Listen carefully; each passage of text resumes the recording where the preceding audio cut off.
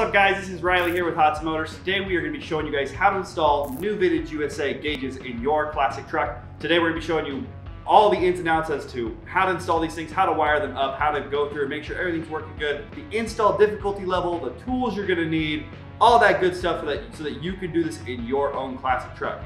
We're installing this on an 84 Suburban, so a square body Chevy. Um, however, the things we're to be teaching you today are applicable across all classic trucks if you want to install a gauge cluster like this one in your ride. This even applies to a lot of other different gauge manufacturers. You could use the things you learned in this video to install gauges across all sorts of different um, gauge manufacturers. But the gauges we're working on today are new Vintage USA gauges. Before we jump right into this, let me tell you really quickly who we are. My name's Riley. We're here at Hodson Motors, and uh, here we give away cool old classic trucks. We build these trucks and give them away to regular people just like you. If you're seeing this video sometime in November, December of 2022, we are actually giving away that rad Suburban right there. Uh, but if you're seeing this video later and you're stumbling, stumbling across this, we're always giving away something else that's really cool, some other cool classic truck. Check us out at hodsonmotors.com to see what we're giving away right now. So with that all being said, there's our shameless plug. Let's hop right into this gauge install and let's show you what we're doing. First and foremost, you're gonna need some hand tools. Uh, these are just some random hand tools that I grabbed. You're gonna need some screwdrivers, some a, a set of sockets, all that kind of stuff, some wrenches, so that you can do all of the vehicle specific stuff to your vehicle, like removing the gauge cluster, the old gauge cluster, pulling off your dash trim, uh, installing your sending units. Hand tools like that are, are going to be what you need to do that end of the install, the stuff we're not going to really cover in today's video. Uh, for today's video, what we're going to focus on mainly is how to get the gauges set up and how to wire them. So in order to wire them, you're going to need a set of wire crimpers and snips. So I really like the Klein tool, just basic uh, wire snip and crimp combo. Um, I love these. I use these every single day. They're old and I'm never getting rid of them. I love them. Um, and I'm also using my Klein wire stripper. Um, these are just an absolute lifesaver. You can strip wires with one hand and they're so great and they strip so quickly. So these are not that expensive. I think these were $15 and these were $15. Get yourself a set. You'll use them for the rest of your life. So they're great. So you'll want to get some of those. You're going to need an assortment of different um, wire connectors, butt connectors. So I buy my butt connectors from crutchfield.com. They sell really high quality butt connectors, way better than what you could find at like the parts store and way cheaper. You go to O'Reilly's or AutoZone and you're gonna spend an arm and a leg on butt connectors.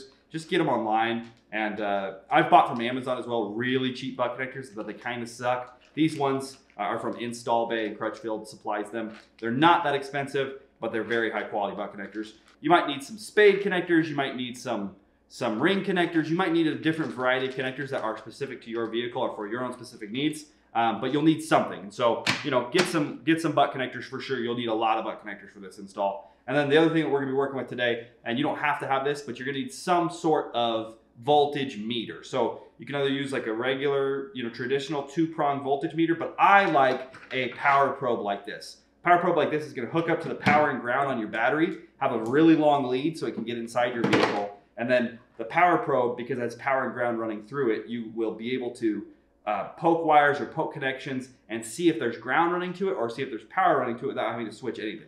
You can also send power or send ground through this unit. So if you wanted to test something to make sure that the lights come on, you could send power through real quick and boom, you know you've got a good ground because your lights came on. That makes hopefully, that makes sense. But these are great. Now, Snap-on and other suppliers sell these things for a couple hundred dollars. They can be pretty expensive. I bought this cheapie on Amazon years ago, like coming on three years now. This thing was cheap and it has not failed me yet. So do I really think you need to go break in the bank to buy one of these? Absolutely not. I would suggest just getting a cheap one off Amazon. And you probably buy five of these before you could buy one from Snap-on or something like that. And it's lasted me a really, really, really long time. I use it, you know, at least twice a week. So love my cheap power probe. This is some knockoff on Amazon. Just go grab one of those. They're great. So that's kind of some of the tools we're going to be using. If I have to go get any other tools for this install, I'll show you what we're using. But really, this is the main gist of it. It's not a very heavy tool installation. Uh, you don't need a lot of tools for this. Uh, let's talk about difficulty. How hard is this install to do?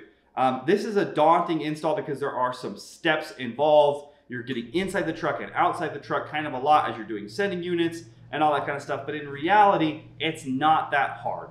Um, if you take your time, you just got to be willing to snip some wires and butt connect them, and you know it's really not that difficult. I think if you can put in a radio in your car, you can do a gauge install. Um, but this is something that if you can do it, and if you can muster up the courage to do it in your truck or in your vehicle, you're gonna you're gonna feel you know way better about your your your abilities to work on your own vehicle absolutely something that anybody could do. And I think that you could do this. You could probably do all the wiring uh, for the gauges in an afternoon and do in another afternoon, you could do all your sending units and in a weekend, you could have digital gauges in your vehicle. Um, quickly, let's talk about why you want digital gauges. Most of these older vehicles, their gauges have stopped working, either gauges stop working or they don't read accurately. And you want accurate data so that when you're driving your prized possession of your old vehicle, it's not gonna break down on you. You're gonna have accurate, accurate information the whole entire time.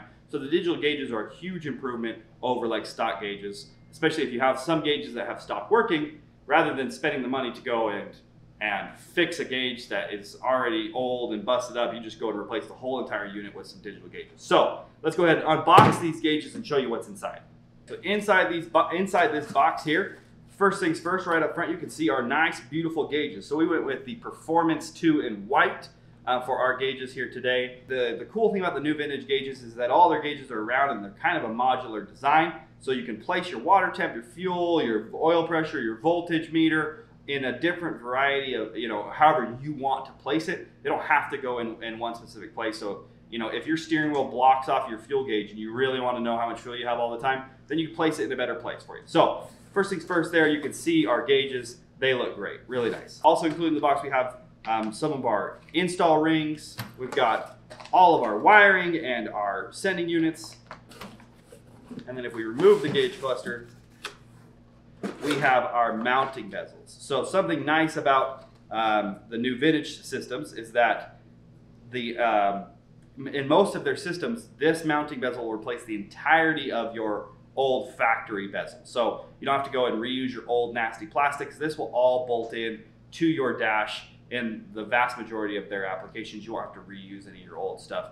Um, you might have to get a little custom and do a little bit of trimming and, and get these things to fit absolutely perfect.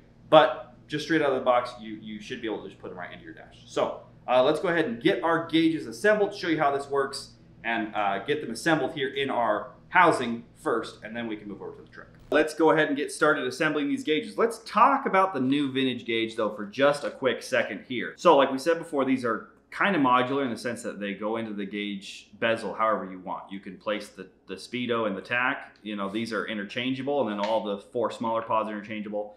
Uh, but something great about this is once you put power and ground to the two main units, all the computers that control the smaller units are all controlled into here. So on the backs of the main units, you have these other smaller plugs that the plugs from the small units will go will connect right into. So your small units will plug right into the back of your big units, and so they all get power and ground together. So uh, there's no need to like if you've done gauges from somebody like uh, um, Autometer, you have to run power and ground to each individual gauge. It's kind of a pain in the butt. With this, all you do is run power and ground to the main two units, and then they give power and ground, and they send all the information to the other gauge units as well. So um, off the back of these gauge units, you'll have these two larger harnesses um, that will plug in here, and so you run all of your sensor wires from all of your senders and like your fuel flow, everything else is going to get ran into these wires in the back of these. And so these give all the data and power and ground to your smaller ones as well. So makes wiring in these gauges similar to like a Dakota digital gauge. Um, whereas the only difference here is that a Dakota digital gauge has like a separate computer that you would mount somewhere under your dash. These you don't have to find a place to mount that computer, which I actually like better. I like not having to find a place. If you've got a crowded you know area under your dash, it kind of sucks to try and find a nice, clean, hidden place to mount that computer up. The computers are contained within these gauges, so I really like that. Really quick plug here. Uh, you'll see on our tachometer, because our Suburban there has a 12 valve Cummins in it, we don't need a full 8K tach, so we have a 4K tach for diesels. Um, this is available in a couple of their different designs, so if you have a diesel and you want a 4K tach, it is available, so that's pretty nice as well. Um, let's hop into uh, putting these gauges together. So we're going to assemble now our dash bezel first, and then we'll get all of our gauges assembled into the bezel as well. In all the new vintage gauges, is they've got instructions, specific instructions for how to how to install this in whatever truck you're doing. And so read the instructions. I can't say that enough. I like to read the instructions one time all the way through before I even start. However, the instructions are well written and are printed in color pictures, so that's nice too. So, so what we're doing now is we're just assembling our our two pieces of our dash of our of our gauge bezel together. Um, it's just two number eight screws that are gonna pop this baby together here. So not a big deal, very easy. Using an impact just to make this a little easier for our time sake here on the video, but if you don't have an impact or don't want to use one, you don't have to.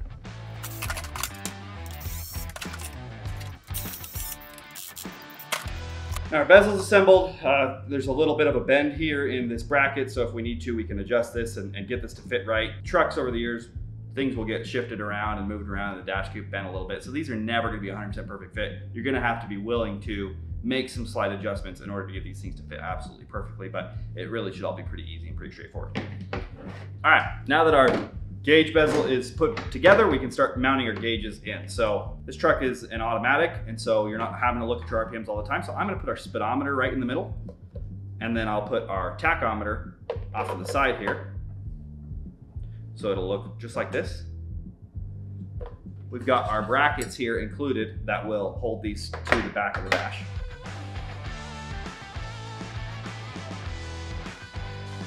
Using a nine millimeter socket to uh, tighten down these brackets in the back, making sure we get our, our gauges nice and straight. Uh, you don't want to put this into your truck, your gauge be all crooked, and then you have to take this thing back out later as you, as, you know.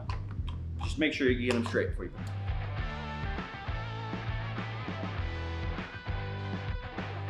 Okay, we've got our two main gauges on. Bracket install is really straightforward. You just put the brackets over the long studs and it'll just tighten it down. Hold against it nice. Make sure you get it straight. Now we'll go and put in our, uh, our smaller gauges or accessory gauges and uh, show you which gauge will plug into the back here. Okay, so now these are gonna go in. You can put these in in any order. Your, your your small gauges can go in in any order that you want. You place them in any position that you want. However, they hook up to the specific gauges, specific of the small gauges will hook up to a specific of the large gauge. So your fuel sender and or your fuel gauge and your temperature gauge, so our fuel and our temperature, our fuel and our temp will hook up to our speedometer.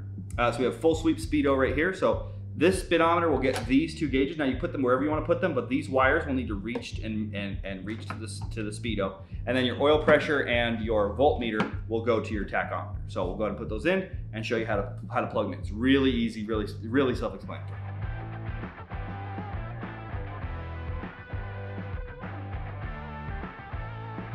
We've got all our gauges installed. Again, really straightforward. Just use the brackets and the, the flat washers the lock washers and the nuts. So really, really, really straightforward there. You'll need a, a eight millimeter uh, socket for the smaller gauges and a nine millimeter socket for the larger gauges.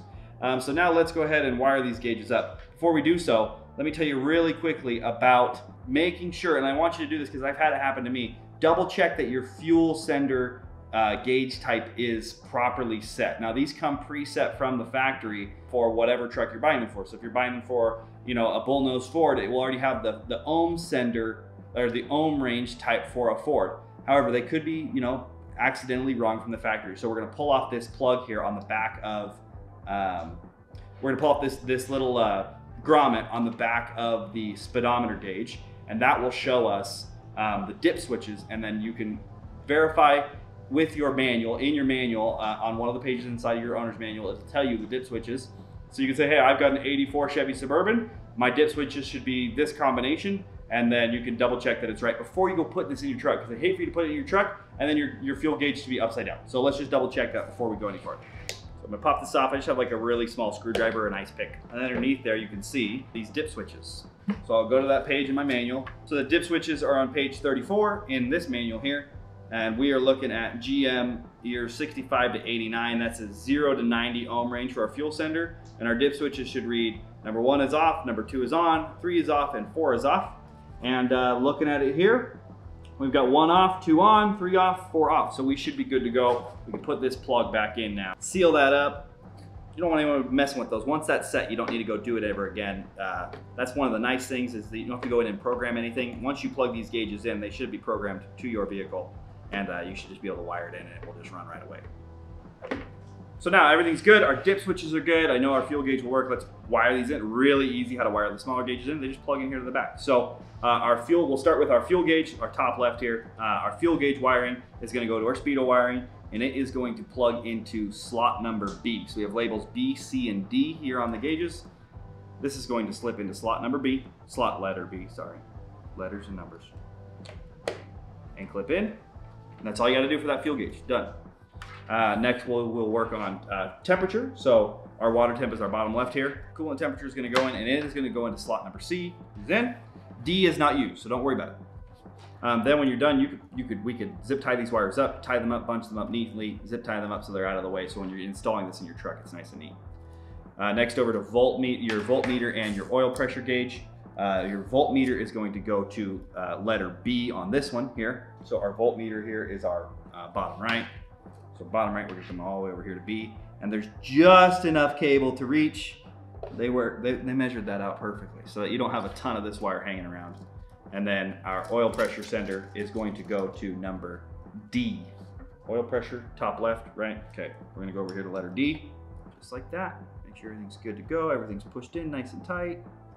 Make sure everything's good before you go putting this in your truck. I'd hate for you to waste your time, put this in your truck and then it not work out. Okay, so now that that's all wired in, we're gonna put in our main uh, wiring harnesses. So it's the same color on both harnesses, so it doesn't matter. So they just plug in here into the back, real easy.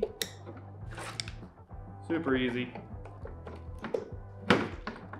They'll snap in and then boom, ready to go put this in the trucks. Now, my own personal opinion, if I if it were me putting these gauges in, and it is me, so I'm going to do it, I would label these uh, right here with your instruction. I would label these um, right here on the table just with some tape and a marker. I would label to what they go to and then go put them in the truck. That way you can just really quickly and easily go back and forth and see your labels and then you don't have to be constantly referring to your manual. I just label these all right now and then go to your truck and install them in the right then and there. So I'll do that. Let me label these up real quick and then we will go put these into our Suburban and get them wired in and show you what they look like. So uh, let's let's get to it in the truck. So first things first, you'll notice our steering wheel is missing. You don't have to do this. We just took our wheel out because we're replacing it anyway, but you don't have to remove your wheel. It is nice though to be able to ha have all this access and not have to fight the wheel, but you don't have to do that. Um, but we're up here. We've got our gauges. Um, we've been testing our gauges against our bezel, making sure all of our gauge location is properly placed. If you have to, you'll just have to loosen the nuts in the back of your gauge on, on your brackets and slide your gauges around in their holes um, so that everything lines up properly. But we've got that all lined up. Uh, we've got our wire snips, our wire strippers, and then our power probe hooked up to the power and ground terminals on our battery.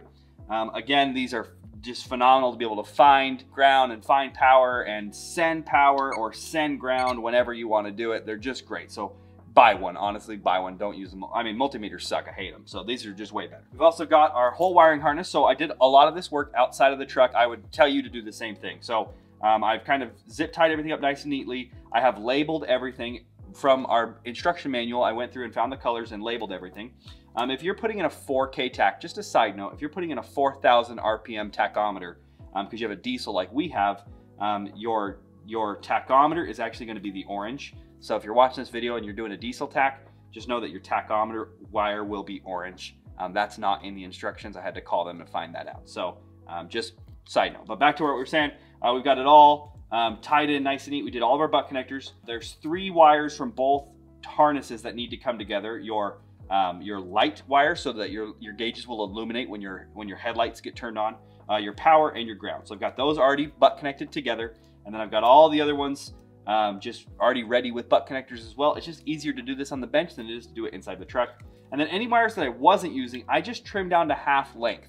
I would not suggest for you, unless you're a professional, and if you're a professional, you're probably not watching this video, um, but I would suggest that you don't trim them all the way down or de-pin them because you might need them later or you might have messed up and you might need to go through and change something. And if you trim them down too low, you're gonna be screwed and trying to butt connect on a really short stubby wire. So I just cut them down to half length.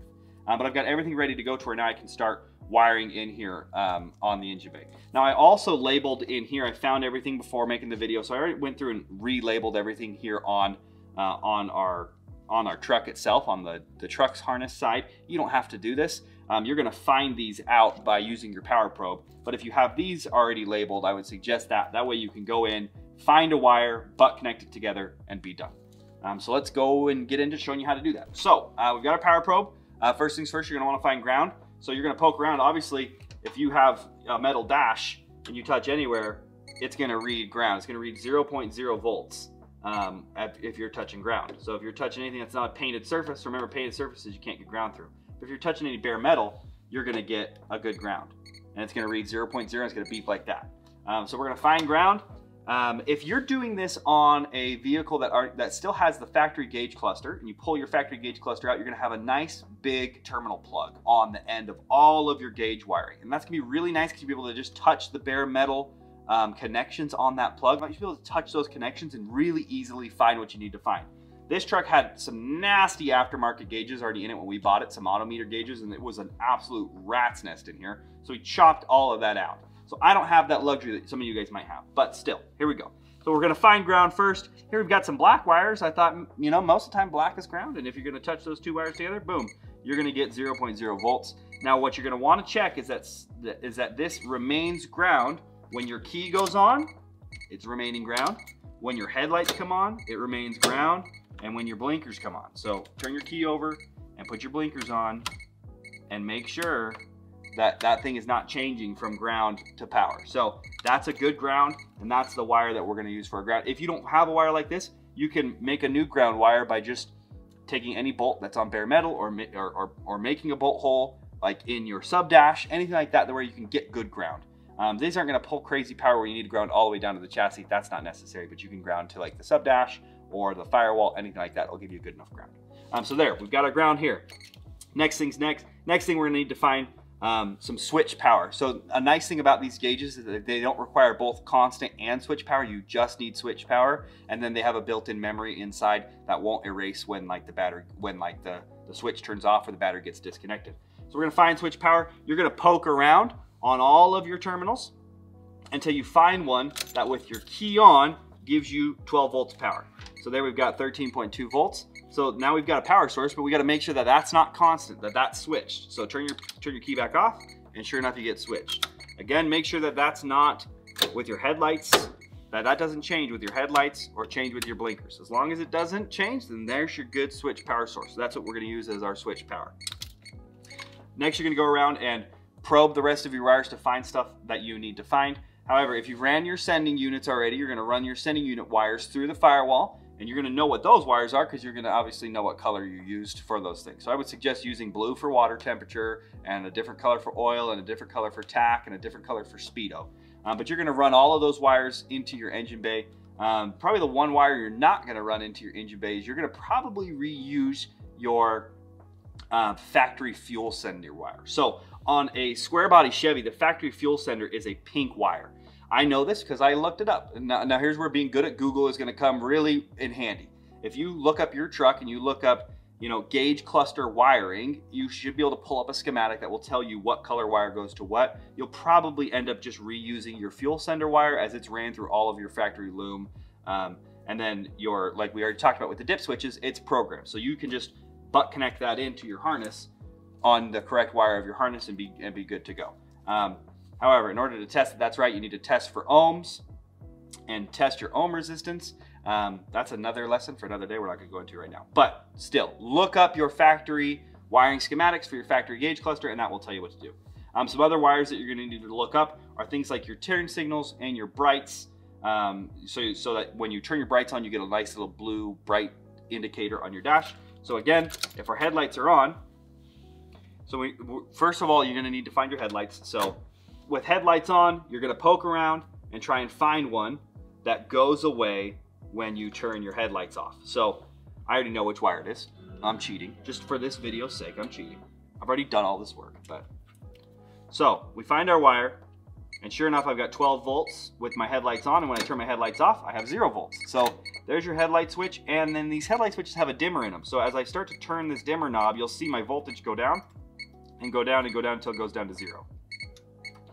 Again back up it'll it'll come back up as I turn the dimmer switch on the headlight knob. So there's my good headlights. Next we'll want to find brights. So I've already found brights. It's the, this green wire here with my headlights on but my brights off. It should read zero volts. And then when I put my bright switch on I get 12 volts power.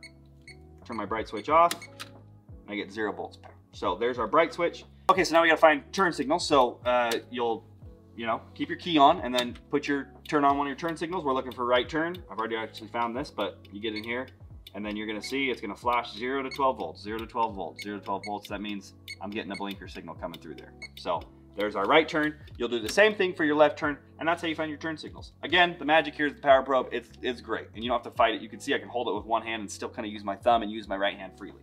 Um, so once that's all said and done, we just got to go through and butt connect it in, and uh, wire in our harness all into there. So let's just do that real quick. Um, but before we do that, really quickly, what I'm using for tachometer, I'm using, I'm doing a Cummins swap in this truck. So if you're watching this video and you're wondering, well, how do I get tach? I don't have a tach output from like a from like a, a distributor because like if you're doing this on a car that has a that runs on gasoline and you have a distributor, you'll have a tach output. If you're running, if you're doing a diesel, you don't have a tach output. So what can you do? You can buy a uh, from Dakota Digital. They sell a an interface unit that will transfer a, a signal, a W wire signal from your alternator, and then it will go in and transfer and change that into a readable signal that any gauge cluster can use to read as tachometer signal. So that's what we're using.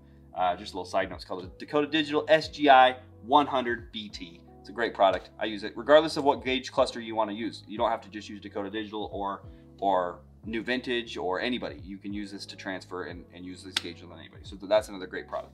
Um, so yeah, let's just go and butt connect this all in and uh, see what it looks like. Um, another thing that you're going to need to do is um, make provisions for your program button. These are the little intermittent switches that will control uh, your gauge faces, like the little LCD screens at the bottom that tell you your trip meter and all that kind of stuff. So um, on your wiring harness, they're labeled as program buttons. So you'll just need to wire this in, make a space. I'm going to put these down by my headlight switch, downward somewhere through my dash. Uh, you'll just need to find a nice hidden place where you like them. You can put them on the bottom of your dash. You can hide them somewhere nice. Do whatever you want to do, but hide them somewhere the they're on both switches it's just two black wires coming out the bottom so either one can be ground and either one can be wired into your wiring harness so I've got my two put together on a little terminal and I'll just ground this to my sub dash and then the other two wires will get plugged in here to my onto my harness here under my program where it's labeled program buttons it'll get wired in there and there and then you just fasten these wherever you want to fasten them and then you're good to go. So you can go in and, and, and make any changes and, and use your use your gauges. So that's just the last thing you got to do. Um, so now we'll go ahead and wire them in and uh, see what it looks like.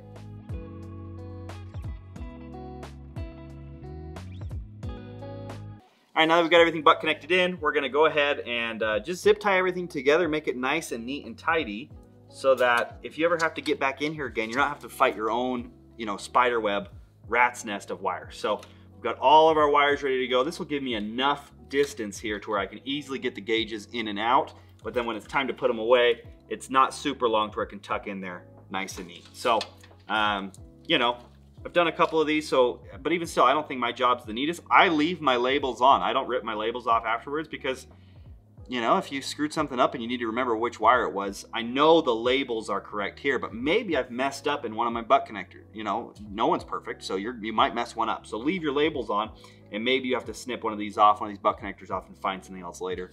But, uh, yeah, just make sure you get in there, snip off all your excess on your zip ties. And uh, now we're gonna go ahead and put our gauge cluster in, but not all the way. I'm telling you, please do this step. Please, before you go bolting anything back down to the dash and tying anything up, just put your gauges in, plug them in, and make sure you did everything right now. Make sure your fuel sender's right, make sure that your oil temp, your oil, your oil pressure, your water temperature comes on, Make sure that your tachometer works. Make sure everything works right now before you go putting your dash all back together because it's a pain in the butt to take it apart. And you might have screwed up something simple like your left turn signal turns on your right turn light on your dash. So just go ahead and what's we're gonna do, we're gonna plug it in, test it, make sure everything works, and then we'll go putting it all back together. If you left your wires long enough, you should be you should easily be able to get in here and mess with it. Uh, you gotta remember which side is which. So our tach side here is on the right, speedo side on the left. Again, not bolting anything down, just wanna see that they work. Okay, we got power and we've got ground. They came on, all of them work. We've got needle sweep, that's the most important part. Now we'll see what else works. Okay, our fuel sender's coming up. That's a great sign that our fuel float in our tank isn't bad. Yeah, that looks about right. Uh, we've got battery voltage, that's working. Um, our oil pressure and our water temperature should both read zero because the truck is off. Um, but surprisingly, that's all working. Let's, um, we can, I haven't grounded out my dip switches yet, so I don't know if they will work, but they do. If you ground it out to the, if you touch your dip switches to the dash, they will work. So our dip switches are correct. So that's good. Um, let's make sure our lights work. We turn them on, we've got illumination on all of them except for one. So one of these is not illuminating. See, that's why we check. It's okay. I can go in there now and I know that this one has maybe just come disconnected from the main gauge or something like that and for some reason that one's not illuminating. If for any reason you have an issue, make sure you write New Vintage and, and, and let them know. They'll always replace anything that you need. I'm going to go in and check and make sure that there's nothing wrong, that maybe the wire didn't come disconnected. Um, but again, if I put this whole thing all together and I didn't check that, I'd be really pissed at the end. Um, but if anything, they'll replace it if it needs replaced. Uh, we'll check our blinkers. So our right blinker works.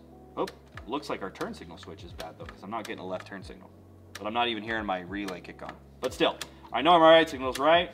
When our headlights come on, those come on. When our brights come on, I get my little bright switch. And uh, yeah, it's looking great. I'm, I'm pumped. So now that I know everything's working and, and, and I'm ready to go, I can go ahead and and put this all back together. Again, because this is not a Suburban or a, or a square body Chevy specific video, we're not gonna show you how this goes in, but you're just gonna have to massage and make your way in and make sure you get your gauges in nice and nice and neat. Um, you might have to make a little bit of adjustments, bend it a little bit here and and do your best, but the instructions are pretty clear as about how to get these gauges in on your specific vehicle. We'll go ahead, we'll sink those in, we'll put our, our, our gauge bezel back together, put our dash all back together, put our steering wheel back on, and uh, it'll be ready to drive. So stay tuned and we'll show you the finished product, show you just how great it looks. Um, but with that, we'll close the video. Thanks a ton for watching this install. Hopefully this helps you and gives you some tips and some tricks as to how to put these new vintage gauges into your vehicle and some other things that we've learned along the way. Make sure you subscribe to us here on YouTube, uh, our YouTube channel here, Hodson Motors. Follow us on Instagram and Facebook at Hodson Motors. And check us out on our website, hodsonmotors.com to see what we're giving away now, what our current giveaway truck is. You might be watching this video a little later than we've than we're posting it, and we'll be giving away something else that's equally just as cool as this Suburban. So again, thanks for watching this video. Please like and subscribe, and we'll catch you on the next one.